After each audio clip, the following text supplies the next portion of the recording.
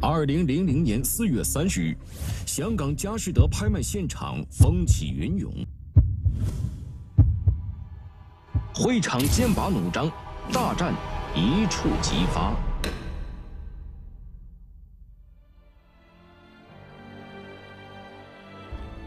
初心不变，信物百年。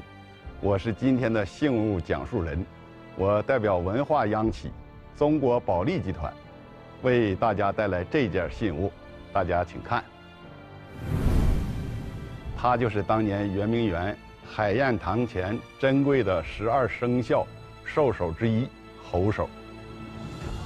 一八六零年十月，英法联军攻占了北京，火烧了圆明园，不计其数的奇珍异宝。被掠夺一空，其中呢就包括十二兽首。大家可以看到，在这件兽首的侧面和后面，留下的呢是英法联军打砸抢时留下的枪托痕迹。受伤的猴首，自被掠夺起就销声灭迹，流离海外。它再次出现在大众面前，已经过去了。一百四十年。二零零零年四月三十日，香港佳士得春季圆明园宫廷艺术精品专场拍卖会即将开幕。早在一个月前，香港便传来这场拍卖中有圆明园兽首即将公开拍卖的消息。中国国家文物局立即致函拍卖行，要求他们停止公开拍卖那些非法掠夺的中国文物。因此，在拍卖预展中，兽首铜像始终没有出现。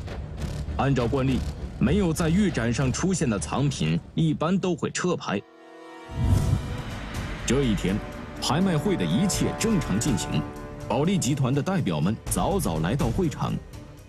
下午四点三十分，消失了一百四十年的圆明园猴首铜像即将登场。会场内一片喧哗。会场外渐渐聚集了大批抗议的香港市民，示威者和保安发生冲突，现场一片混乱。此时，保利集团的代表们坐不住了，难道要眼睁睁看着国宝再次流失到海外吗？趁着拍卖会暂停的空隙，保利集团的代表们离开会场，向集团总部提出竞拍申请。国宝已经处于失控状态。甚至可能再次蒙受流失的厄运。不久后，他们收到总部指示，不惜任何代价抢救兽首。半小时后，拍卖会重新开始。面对一座确凿无疑的圆明园遗珍，很多爱国人士和国外买家必然会参与竞拍。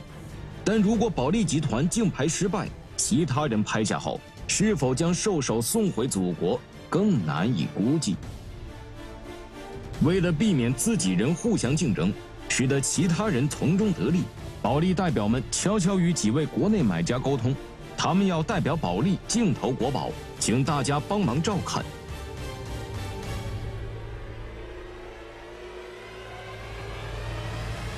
最初，保利代表们只是坐在一旁静静观看，当价格涨到一倍之后，许多人已经退出竞拍。就在这时，保利集团终于出手了。短短两分钟，二十五次举牌，保利集团每一次加价又急又快，直到对方摇头表示放弃。当价格停留在七百四十万港元，在拍卖师最后一次落锤的这一刻，全场爆发出热烈的掌声。这圆圆兽首，这铜。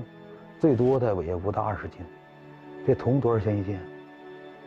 但是我们就特别想问呢，这种这段民族感情，我们先人的智慧的结晶，又怎么来算账？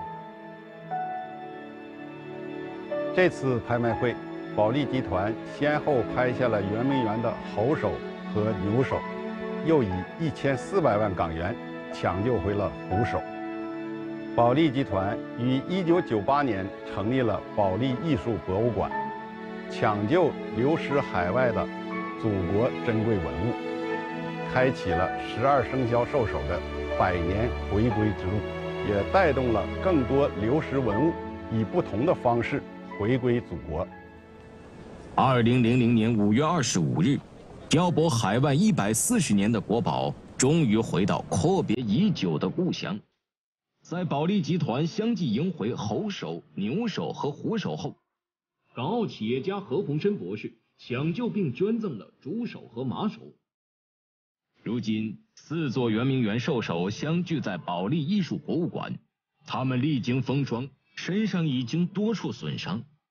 他们失而复得的经历，刻画着一个世纪跌宕起伏的历史沧桑，也书写着一个民族的复兴历程与家国情怀。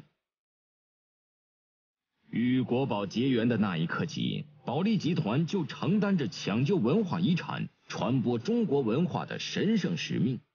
如今，保利剧院已经成为世界最大的剧院院线。保利拍卖连续十年在世界中国艺术品拍卖领域独占鳌头。保利正为祖国构筑新的沟通桥梁，让世界更好的认识中国、了解中国。百年信物薪火相传，包括这件兽首在内的四件圆明园兽首，承载着中华民族的百年历史，也镌刻着我们保利集团。保国利民的初心和梦想，保利集团已经形成包括国际贸易、房地产开发、文化艺术经营、科技创新、工程服务等多元主业的发展格局。未来，我们保利集团将继续传承红色基因，在世界一流企业建设的道路上阔步前进，为满足人民美好生活的需要。我们将继续奋斗。